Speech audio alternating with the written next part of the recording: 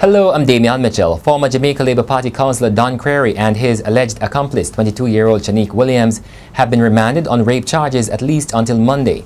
At that time, resident magistrate Simone Wolfe-Reece will make a decision on a bail application, which was made on Friday afternoon by attorney Tom Tavares-Finson.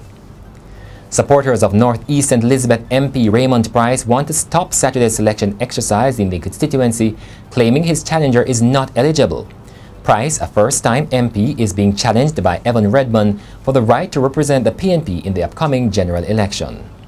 The state-owned Jamaica Urban Transit Company is seeking to sell 60 of its old buses to generate money for its cash-strapped coffers.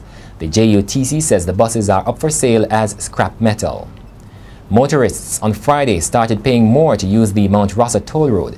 The toll rate for Class 1 vehicles is now $360 up from $200, Class 2 $715 up from $295, and Class 3 $1,075 up from $1,000. In sports, World Championship silver medalist Elaine Thompson held on for third place in the Diamond League 200 meters on Friday. World champion Daphne Schippers continued her dominance while American Allyson Felix ended second. In your weather forecast, Saturday morning will be partly cloudy.